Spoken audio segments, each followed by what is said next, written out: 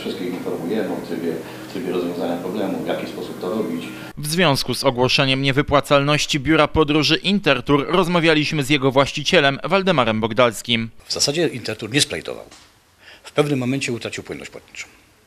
Ale jeszcze jest na rynku i jeszcze nie splajtował.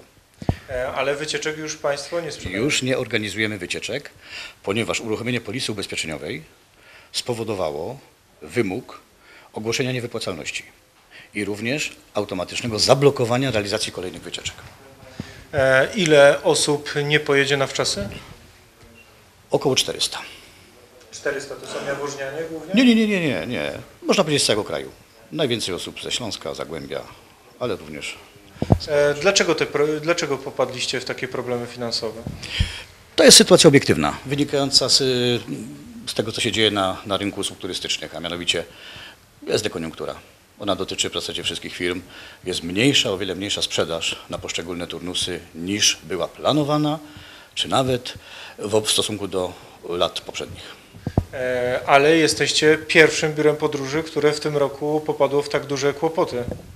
No, z tego tak wynika. E, Proszę powiedzieć, e, jak informował Pan e, tych, te osoby, które miały wykupione wczasy, że jednak no, nie dojdzie do ich wypoczynku? Do ostatniego dnia nie informowaliśmy, ponieważ turnus, który miał jechać 1 sierpnia, miał jechać do końca. To, że on nie pojedzie, rozstrzygnęło się rzeczywiście 31 lipca w godzinach południowych i wczesnopopołudniowych. E, Tak naprawdę co stało e, ekonomicznie za tą decyzją, że już więcej wczasów nie będziecie organizować? No, będziemy organizować, dlatego że na rynku pozostajemy. Nie, nie ogłosiliśmy upadłości ani bankructwa. Na razie ogłosiliśmy niewypłacalność. Dotyczy to tej sytuacji, która jest aktualna.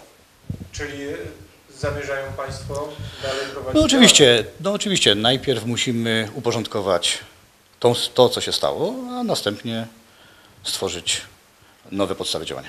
Myśli Pan, że po takiej utracie zaufania ktoś e, będzie w stanie jeszcze raz e, powierzyć Państwu los swoich wakacji? Pojęcia nie mamy. Ale liczymy na to, że w klubie naszym turystycznym, który funkcjonuje od lat, mamy kilka tysięcy uczestników, którzy z nami jeżdżą regularnie, co roku. Liczymy na ich wsparcie. Proszę powiedzieć, mówi się, że to e, krakowska firma e, z siedzibą w Jaworznie. Jak e, to, jak to funkcjonuje? Jak to było zorganizowane? No rzeczywiście jest to firma krakowska, zarejestrowana w KRS w Kraków z siedzibą na ulicy Sławkowskiej 10, y, posiadająca drugie biuro w Jaworznie. Proszę powiedzieć, czy nie ma Pan sobie nic do zarzucenia to w tej sytuacji, kiedy rzeczywiście tak wiele osób się zawiodło na usługach tej firmy? Ale oczywiście, że trzeba mieć sobie dużo do, do zarzucenia. Można było, powiedzmy, ograniczyć akcję, ale wcześniej nie można było przerwać. Co by Pan zrobił teraz inaczej? Na dzisiaj? Nie wiadomo jeszcze, ponieważ akcja była powtarzalna, tak jak wykonuje się ją z roku na rok, biorąc y, pod uwagę analizy poprzednich akcji, nie wiadomo. To musimy poddać analizie na przyszłość. E, Na dzień dzisiejszy, czy tym osobom, które nie wyjechały, no, wystarczą słowa przepraszam? Ja myślę, że słowa przepraszam to są najmniej ważne. Każdą rozmowę, którą prowadzimy z klientami, rozpoczynamy i kończymy od słowa przepraszam. Ponieważ ci ludzie wpłacili pieniądze, zbierali na te wczasy, liczyli na te wczasy i doszło do takiej sytuacji, że nie pojechali. Więc przepraszamy ich cały czas. Ale tu nie o to chodzi.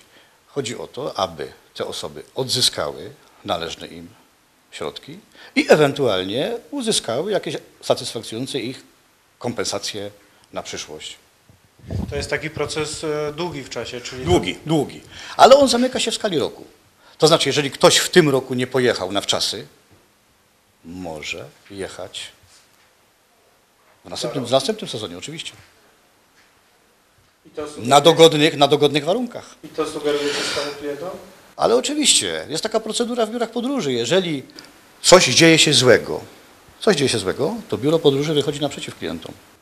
E, Na tych, w tych materiałach, które mieliśmy okazję oglądać e, w ogólnopolskich e, stacjach, no pan tak jakby unikał trochę tych odpowiedzi i wypowiedzi. Tam e, wszędzie mówiono, że ten kontakt z panem był utrudniony. E, Jak No a jak pan sobie wyobraża, jak pan sobie wyobraża rozmowę z mediami w sytuacji, kiedy y, ludzie pod wpływem emocji krzyczą? No przecież nie ma wtedy sensownej wypowiedzi. My możemy sensownie w tej chwili rozmawiać. Ale jeżeli ludzie są spakowani, chcą natomiast- wyjeżdżać, to no nie tak, ma No tak, no tak. Natomiast, natomiast na gorąco też ciężko się rozmawia, tym bardziej, że y, nas obowiązuje pewna też lojalność wobec naszych y, właścicieli firmy. To właściciele firmy tak naprawdę mają sobie, do powinni mieć sobie coś do zarzucenia? Każdy, kto decyduje, zarówno prezes, jak i właściciel, jak i drugi właściciel, muszą wyciągnąć wnioski, zanalizować, gdzie popełnili błędy, jakie błędne decyzje podjęli. No właśnie, ale to kosztem No turystów. kosztem, kosztem turystów. Dziękuję. Dziękuję.